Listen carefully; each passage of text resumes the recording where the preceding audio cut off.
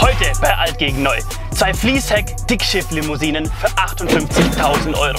Es treten an ein Audi A7 50 TDI, der gebraucht, gegen einen Skoda Superb 2.0 TSI, der aber neu. Und bevor ihr jetzt meckert, ey, das kann man doch gar nicht vergleichen. Abwarten, anschauen, los geht's.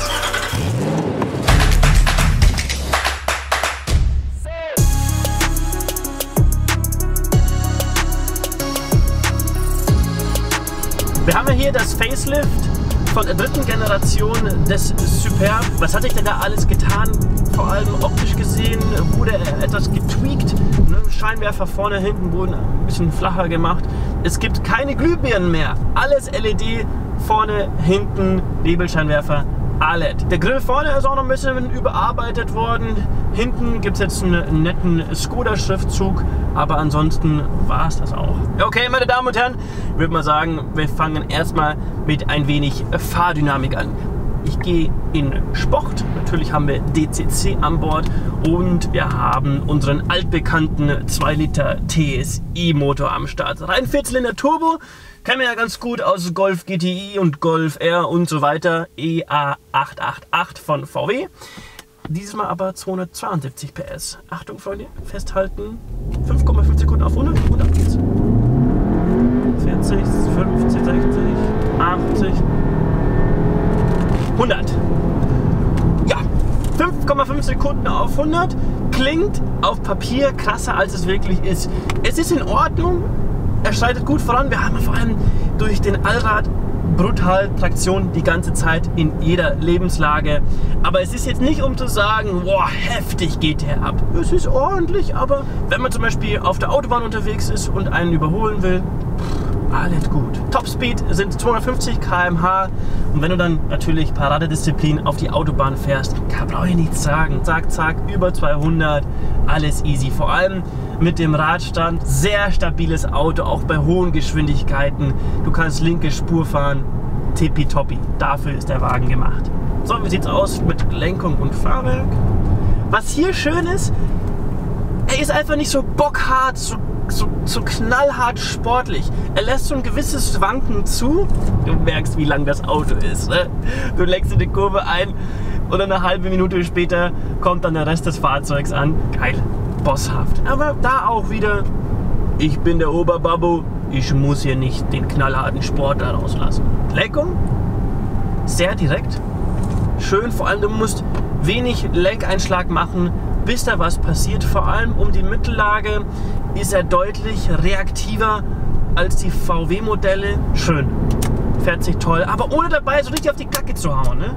Dazu haben wir natürlich 7-Gang DSG, es gibt keinen Handschalter und den Superb mit dem 2 Liter TSI Motor mit den 272 PS gibt es auch immer nur mit dem Allrad. Das ist natürlich kein komplett permanenter Allrad, sondern ein elektrisch gesteuerter mit Haltexkupplung. Aber im Großen und Ganzen muss man sagen, er ist jetzt nicht der knallharte Sportler. Es ist einfach ein entspannter Cruiser. Er mag gar nicht so sehr auf die Kacke hauen, aber wenn es mal drauf ankommt, wenn er einmal über das Turboloch drüber gesprungen ist, dann geht er richtig gut. Okay, dann gehe ich mal raus aus Sport und gehe mal in Komfort. Dann gucken wir uns den Superb mal in diesem Bereich mal an. Da muss ich sagen, ja, das ist schon die Paradedisziplin von dem Wagen. Ne? Der fährt sich so angenehm, so ruhig, völlig relaxed. Vor allem, ich habe das Gefühl, dass sie vorne noch mal ein bisschen mehr Motordämmung eingebaut haben. Bei niedrigen Geschwindigkeiten gleitest du da vor dich hin. Du hast überhaupt nicht eilig, völlig entspannt. Auch das Fahrwerk im Komfortmodus dämpft fein. Du gleitest da gediegen vor dich hin. Guck mal, wie schön der hier über die ganzen Bodenwellen drüber federt. Hup, hup, hup. Das ist wirklich Dickschiff. Das passt, guck mal. Finde ich toll, weil heutzutage ja bei, bei vielen VAG-Modellen auch im, im Komfortmodus alles so. Hier schwebst du über die Bodenwellen weg. Die werden einfach vernichtet, die Bodenwellen vom Super. Platzangebot, guckt ihn euch an, der ist so lang wie ein Wohnblock. 4,87 Meter. Das ist ein Riesenteil einfach nur. Hinten Kofferraumvolumen. Das ist ein Schwimmbad. Ich kenne Whirlpools, die kleiner sind als das. 625 Liter bis 1760 Liter. Das ist der Wahnsinn. Da kriegst du alles rein. Du, du guckst in so ein fettes Loch eigentlich rein, wenn du die große Luke aufmachst. Wenn das immer noch nicht genug ist, dann solltet ihr den Kombi nehmen oder sogar den Kodiak. Aber das ist, das ist gut. Und das gleiche geht hier hinten weiter im Fond. Ähm, also mehr Business Class, mehr Privatjet geht eigentlich nicht. Ich mit 1,80 ich könnte mich da fast unter den vorderen Sitz legen. Sehr angenehm, auch Kopffreiheit, super. Es ist schon sogar so lang, dass man mit dem Vordermann fast telefonieren muss, weil der ist wirklich einfach weit weg. Und dann hier vorne, ja, das ist sehr konservativ, typisch Skoda halt, ne, im jetzt Modelljahr 2020 hat sich ein bisschen was getan. Wir haben jetzt ein digitales Kombi-Instrument, 9,2 Zoll Display mit dem Columbus Business Paket. Ich kann mich eigentlich nicht beschweren. Es sieht ein bisschen aufregender aus als beim Passat, weil da ist es ja sehr klinisch. Ich meine, wir haben hier so ein bisschen Carbon, dann haben wir Alcantara. Und auch hier die Sitze, Sportsitze, toll, angenehm, fühlen sich gut an, sehen auch noch schön aus. Hier unten finde ich es witzig, die Klimabedienung, die Regler. Ich habe ja tausendmal mich aufgeregt beim T-Rock zum Beispiel, dass die so plastikmäßig billig aussehen. Hier hat man einfach einen Klavierlack drüber gezogen und die Rädchen mit so einem Soft-Gummi-Touch überzogen. Und das Ganze wirkt auf einmal deutlich hochwertiger und sieht einfach schöner aus. Und sowas lasse ich halt durchgehen. Was mich tatsächlich aufgeregt hat, was ich mega schade finde, es gibt so ein paar Punkte, die einem Superb einfach nicht gerecht werden. Hier vorne, ne, die Umrahmung von dem digitalen Cockpit. Hört ihr das? Oh, das tut sogar in der Wirbelsäule weh. Und dann hier die Umrahmung vom Navi. Auch nicht schön. Hier unten Mittelkonsole. Ist auch nicht fest. Und das für ein Auto, was fast 60.000 Euro kostet, eher dünn. Verbrauchstechnisch angegeben ist er mit 7,0 bis 7,1.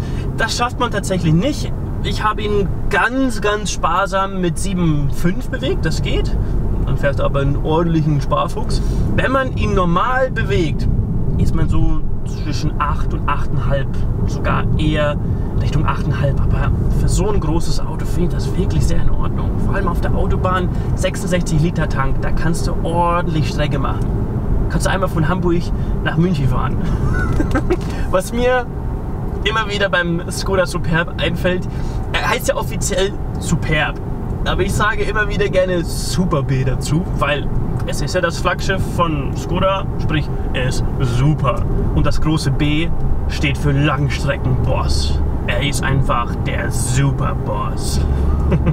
okay, Freunde, dann würde ich mal sagen, dann runden wir den Skoda Superb mal ab und zwar mit den Preisen.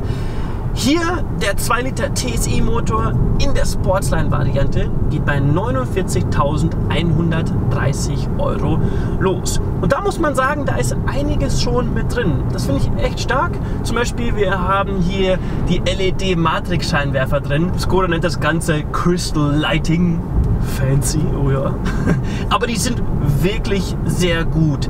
Das ist schon ja, so ein maskiertes Dauerfernlicht was die ganze Zeit in der Nacht wechselt und arbeitet und so ein Schauspiel im Wald verteilt. Du siehst einfach alles. Sehr, sehr gut gemacht.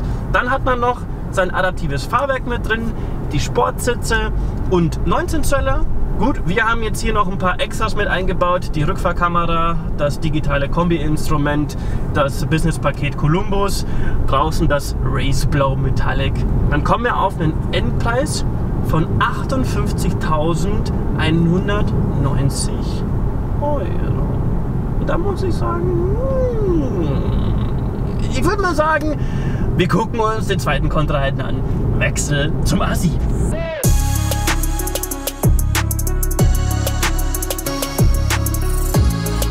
So, und jetzt die Ingolstädter Flunder. Wir haben einen Audi A7 am Start, C8, zweite Generation. Wenn man sich den Wagen mal anschaut, das Ding hat im Grunde genommen volle Hütte. Wir haben das S-Line Exterieurpaket, wir haben das S-Line Sportpaket hier drin, das äh, Sportlenkrad, die Sportsitze, das MMI-System mit digitalem Cockpit, eine Anhängerkupplung, hier Schiebedach, viel mehr geht nicht. Und im August 2018, wo der Vorbesitzer den Wagen gekauft hat, ne, hat der stolze 107.000 Euro ausgegeben. Und jetzt, Mai 2020, kostet der Wagen ein bisschen mehr als die Hälfte. Boah, brutal, oder? Aber was interessant ist, diese beiden Kollegen sind durchaus vergleichbar. Wenn man sich mal die nackten Zahlen anschaut, sind sie tatsächlich sehr nah beieinander. Hier der Audi A7 mit dem 50 TDI hat da vorne einen 3 Liter V6 Turbo verbaut. Ja, äh, Diesel, Benziner, klar, aber die Zahlen 286 PS gegen den Skoda mit 272 PS, 620 Newtonmeter Drehmoment hier beim A7 bei 225 bis 3000 Umdrehungen. Ja, abwarten gegen die 350 vom Skoda. Aber der springende Punkt ist folgender. Dieser Kollege hier wiegt 1955 Kilogramm. Boah! Im Vergleich dazu, der Skoda ist über 300 Kilogramm leichter. Und dann haben wir super ähnliche Zahlen bei der Beschleunigung. 5,7 auf 100, Skoda in 5,6 auf 100. Der ist langsamer. Beide 250 km Spitze, aber im Großen und Ganzen, wir machen jetzt mal 0 auf 100, Achtung. Ich gehe hier in Dynamic, bin in S, latsch einfach mal rein und ab geht's. Ja, trau dich, 50, 60, 70, 80, 90, 100. Jo, sehr interessantes Ergebnis, muss ich sagen. Am Start habt ihr gemerkt, war total tote Hose hier beim A7. Dann hat er einen schönen Sprung gemacht durch das satte Drehmoment und obenrum ist er dann so ein bisschen eingeknickt. Da habe ich das Gefühl, so ab 70 km/h ist der Skoda ein Ticken schneller und er fühlt sich generell auch etwas leichter an als der A7 hier. Klar, wir haben da vorne mächtige 3 Liter V6, aber du, du spürst du richtig so, während er hier so auf die 100 sprintet, macht der Skoda es eher so. Und während ich beim Skoda ja von Anfang an gesagt habe, ist eher so der entspannte Kerl, ist das hier doch eine andere Situation beim A7. Wenn du in Dynamic bist, ne, wir haben zusätzlich hier auch noch Sportfahrwerk, Luftfahrwerk und variable Dämpferregelung, hat der Ingolstädter Lust zu spielen. Ne? Es ist schön, er, er, er verleitet einen etwas schneller zu fahren, ohne dabei komplett zu eskalieren. Und das macht er dann auch schön. Ne? Fahrwerk ist schön straff, sportlich. Bei der Lenkung auch. Du musst extrem wenig machen, dass da was passiert. Reagiert sofort. Im Sportmodus ist er auch deutlich schwerer in der Lenkung als zum Beispiel der Skoda. Und im Großen und Ganzen ähm, kannst du hier auch wirklich schön schnell fahren, ohne dabei zu sehr zu übertreiben. Wenn man übertreibt, kommt dann aber der Punkt, wo man diese 1955 Kilogramm wieder merkt. Und das ist echt ekelhaft. Wenn man zum Beispiel so ein bisschen... Äh, siehst du das? Och, da kommt ja das Häckchen. Schön. Aber du spürst das Gewicht einfach. Ähm, das finde ich so ein bisschen schade, aber im Großen und Ganzen sehr gut ausbalanciertes Fahrzeug. Schnell bewegbar und kleine Schmankerl obendrauf. Allradlenkung. Ja, das macht den Wagen nochmal etwas quirliger. Im Großen und Ganzen auch da wieder, wieder Groß und Ganzen gesagt, ne? Sag mal was anderes. Im Ernstfall fällt mir da auf, es ist nicht so eklatant wie zum Beispiel beim Audi Q8 oder beim VW Touareg mit der Allradlenkung. Hier ist es schön, du merkst, dass er etwas flotter einlenkt, ist aber nicht so krass. Nettes Gimmick, brauche ich aber ganz ehrlich nicht. Was hier auch noch ganz nett ist, wir haben permanenten Allrad verbaut. Ist für mich einfach typisch Audi, gehört dazu und ja, in, in, gewissen Situationen zieht er dich da einfach raus. Schön. Du hast auch beim Beschleunigen überhaupt keinen Wheelspin. Finde ich irgendwo klasse. Okay, Freunde, dann würde ich mal sagen, gehen wir aus Dynamic raus und gucken wir uns mal die andere Seite des A7s mal an. Und die kann er auch sehr gut, und zwar das Entspannte. er kommt von der Entspanntheit nicht an den Superb ran. Nein, das ist der King der Entspanntheit.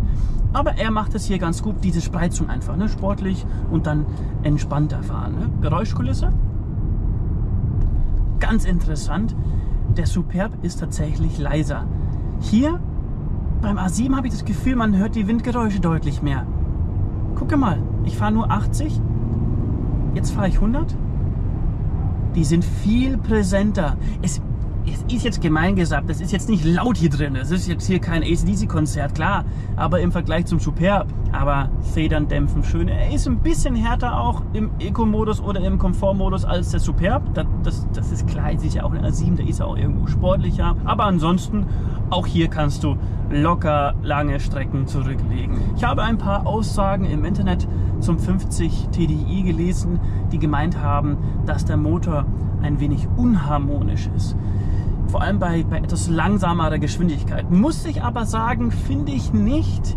Ich finde, dass der Motor zusammen mit der 8-Gang Tiptronic, die 8-Gang Wandlerautomatik, das funktioniert manchmal nicht so gut. Du hast bestimmte Situationen, wo du äh, das Gas eintrittst und es passiert nichts und dann auf einmal springt er los oder zum Beispiel generell, guck mal hier auch, weiß er nicht so, oh, oh, oh was, was wollte der Kollege jetzt ähm, oder auch bei, bei langsamen Geschwindigkeiten, äh, wenn du an eine, an eine Ampel ranbremst, weiß er auch nicht so ganz, was er machen soll.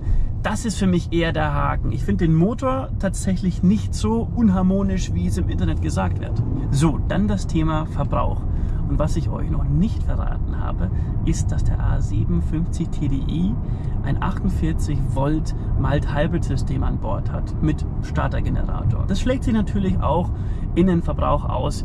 Wenn man sich das anguckt, angegeben offiziell Nefts ist er bei 5,4 bis 5,7 da komme ich nicht hin, aber WLTP-technisch sind wir bei 7 bis 7,5 Liter. Und das ist absolut machbar. Hier der Langzeitspeicher sagt schon 7,1 Liter. Mit einem Tank von 63 Liter schaffst du dann auch mal bei wirklich entspannter Fahrt die 1100 Kilometer. Im Vergleich dazu, der Skoda, ja, es ist halt kein Diesel, ganz klar, wir haben auch ein bisschen mehr Tank, aber da kann man auch sagen, ähm, der kommt bei entspannter Fahrt 950 Kilometer weit. Und dann natürlich auch noch die Platzverhältnisse. Ich hoffe, ihr seid genauso gespannt wie ich, denn Kofferraumvolumen hier beim A7. Los geht's bei 535 Liter bis 1390 Liter. Ja klar, er hat das Nachsehen gegenüber dem Skoda. Nö, da haben wir gesagt 625 bis 1760. Klar. Trotzdem äh, muss ich so eine, so eine kleine Lanze für den A7 brechen, denn trotzdem ist es auch so eine fette Badewanne. Ne? Der Laderaum ist ewig lang. Im Vergleich zum Skoda ist er nicht so tief, was ich ja demonstriert habe mit, mit der Badewanne. Was ihm aber das Genick bricht, ist einfach diese Flügelform des Fahrzeugs generell. Der, der, der Schrägheck vernichtet einfach unheimlich viel Kofferraumvolumen. Aber im Großen und Ganzen, ich konnte mich nicht beschweren, weil man jetzt hier keine großen, hohen Kisten transportieren muss, kriegst du ja auch ordentlich was rein. Und hinten auch im Fond, da war ich auch überrascht. Ich habe auch gedacht, das würde deutlich enger sein. Ähm, klar, auch da das Nachsehen gegenüber dem Skoda, aber ich mit 1,80 konnte hinten einigermaßen noch sitzen, Kopffreiheit war noch gegeben. Und wenn wir uns dann hier nach vorne bewegen, ja, es ist und bleibt dann doch eine kleine andere Welt im Vergleich zum Skoda. Ne? Es muss ja auch irgendwo eine Abtrennung sein. Das sieht schon sehr gut aus, sehr hochwertig, toll gemacht, schön. Trotzdem auch da hier, guck mal, das ist, das ist schaumiert, aber ist schon kurz vor Hartplastik. Und da muss ich sagen, hm, auch hier die Mittelkonsole ist jetzt typisch Audi, ne? hat A6, hat der Q7, hat der Q8. Wer es mag, der mag es. Wer nicht, der mag es nicht. Ich bin zum Beispiel so, ja, zweigeteilt. Ich finde es super modern, auch hier das äh, digitale Cockpit geil. Aber ja, mit diesem Touch Sense und so, es ist alles nur noch per Touchscreen veränderbar. Und das nervt mich. Und deshalb finde ich, macht es den, den Skoda ein bisschen sympathischer, weil er einfach noch haptische Drehregler hat. Und hier, du musst, um die Temperatur hochzudrücken, eine halbe Stunde hochdrücken. Und das ist wirklich nervig, muss ich sagen. Natürlich müssen wir über das Thema Design quatschen. Ja, ganz klar. Während der Superb ja einfach diese stille Bolzer war, der eher das Ganze doch still mag und nicht auffällig ist, ist das hier eine ganz andere Welt. Ne? Der A7 ist einfach krass. Ich muss sagen, auch im Vergleich zur ersten Generation nochmal eine Stufe heftiger einfach. Das ganze Auftreten ist sehr maskulin. Vorne auch. Der Single-Frame-Grill ist gefühlt so groß wie Lichtenstein. Die flachen Augen mit LED-Senkrechtbalken. Das ist schon geil. Und auch wenn man den Wagen öffnet, macht einfach brrr, brrr, Knight Rider Kid lässt grüßen. Geil auch wenn man sich Richtung Heck bewegt. Er sieht von der Seite aus wie so ein Flügel von einem Flugzeug. Sehr dynamisch, sehr schnell auch im Stand. Und dann beim Heck, ja, da scheiden sich so ein bisschen die Geister. Manche finden es geil, manche sagen eher, boah, gefällt mir gar nicht. Ich fand es lustig bei den Audi-Designern, die haben gesagt, oh, oh geiles Heck, oh, hier Leuchtenband, mega, total stealthy und dann auch noch diese breiten Schultern, super maskulin, oh, geil ich bin da so geteilter Meinung, ich finde es schöner als der Vorgänger. Trotzdem so unfassbar geil wie die Audi-Designer finde ich es jetzt nicht. Aber ihr könnt ja unten mal in die Kommentare reinschreiben, findet ihr das Heck schön, ja oder nein? Okay, Freunde, würde ich mal sagen, runden wir das Video mal ab. Audi A7 50 TDI gebraucht oder Skoda Superb 2.0 TSI neu. Das Ganze für 58.000 Euro. Der Superb ist so ein Auto, was eher unauffällig ist, was trotzdem super schnell ist. Sein, ja, sein Sahnehäubchen ist halt einfach die Gemütlichkeit, diese Entspanntheit. Der Wagen strahlt einfach eine Ruhe aus. Er heißt nicht umsonst Superboss. Ganz einfach. Und auf der anderen Seite der A7, der sowohl ruhiger kann, aber nicht so ruhig ist wie der Superb auf der anderen Seite sportlicher kann und natürlich auch deutlich mehr auffällt. Da habe ich eine geile Anekdote jetzt zum Schluss, Freunde. Ich bin gerade durch eine Ortschaft durchgefahren. 50 begrenzt. Ich bin Punkt 50 gefahren. Ne? Und es kam mir so ein Ehepaar entgegen auf ihrem Fahrrad. Und der Mann dann sofort so, äh, geh mal runter. Und ich so, ich fahre schon 50. Was willst du denn? Und das ist auch so das Typische an dem A7. Es ist halt einfach jemand, der mehr provoziert. Und auf der anderen Seite der Superb. Ich glaube, der Rentner hätte den, glaube ich, gar nicht gesehen, wenn er vorbeigefahren wäre. Und das sagt einfach alles aus. So, Freunde, es ist halt einfach so eine Sache. Ich bin gerade in Bayern. Wer mag's, der mag's heute, gell? Das ist einfach eine Entscheidungssache weder wie er lustig ist. Und damit würde ich sagen, Freunde, vielen lieben Dank fürs Zusehen. Schreibt mal unten in die Kommentare, welchen würdet ihr nehmen, den A7 oder den Superb. Ich bin mal gespannt. Und damit sage ich Dankeschön fürs Zusehen. Wir sehen uns bald wieder in einem neuen Video. Tschüssikowski und natürlich liken und abonnieren nicht vergessen.